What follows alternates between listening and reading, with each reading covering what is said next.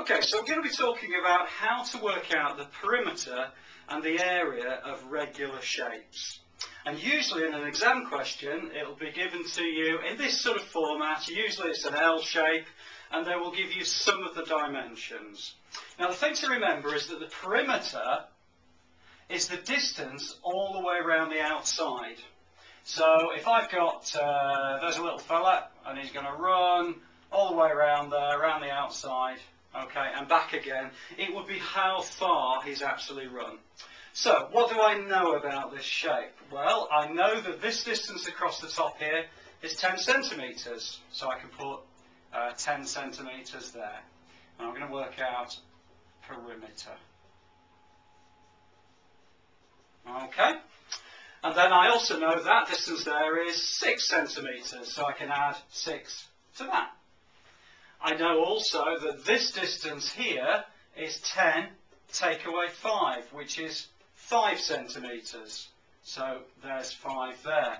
And just as a little tip here, it's probably a good idea to tick as you put the distances down there, just to make sure that you cover all the different distances. Okay, so this distance here we know is 6 centimetres. We know this is 5 and we know this is back to 12 centimetres, which is 6 plus 6. So I know I've done that one, know I've done that one, and that one is 12. And if I add all of those up, that's um, 12, 24, 34, 44 centimetres. So the perimeter for this shape is 44 centimetres. Now, a couple of things that you might want to also be aware of is that occasionally you might get slightly different units of measurement. So sometimes I might give you metres, sometimes centimetres, sometimes millimetres, but when you're adding all of these together, you need to make sure that it's the same unit that you're adding together. And also you will gain a mark on the exam usually for making sure that you put in the correct unit of measurement. So that will take care of perimeter. Okay, the other thing to be aware of is the other part of the question, which would be area. What I'm going to do is, to make it a little bit easier, I'm just going to divide this uh, shape up into two separate blocks.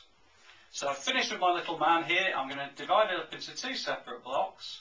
And the area is all of this area added to all of that area. Now, if I look at my diagram, I can say that the area of this piece here is 5 centimetres, which is this width, multiplied by 12 centimetres, which is this height. This is 12 here, so 12 centimetres here. So 5 multiplied by 12 on this block here is 60 centimetres. Now, one of the things to remember is that you're multiplying 12 times 5, which is 60, but also centimetres times centimetres. And the way that we mark that is centimetres squared. And that's the unit that we use, something to the power of 2 or something squared, for working out areas and, and measuring areas. Um, the other thing to be aware of is this block here. Now I know it's 6 there, and I know it's 5 along here because 10 minus 5 is 5 centimetres. This is 5 centimetres.